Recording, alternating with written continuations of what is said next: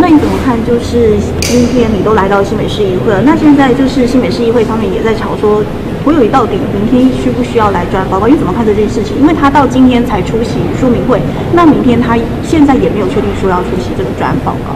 我自己当台北市长，专案报告是我都自己出出席的。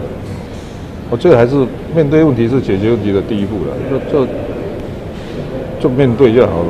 那主席，你在台北市的风格是直球对决，我会建议董事长直球对决。不是直球对决，不要这样讲，就是说面对问题嘛。就因为 我们没有办法保证说，哦，这这这从来不会出问题嘛。啊，出问题就看怎么怎么善后啊，怎么预防以后发生嘛，就这样啊。所以所以所以所以啊，就就面对问题就好了。所以你是觉得就是说侯友到现在的态度是比较闪避的吗？你不是我的朋友吗？为什么问这种题目？比较想要不是啊，就啊就啊就就直接面对就好了。记者会自己开吧，专会专人报告自己报告，这样就好了。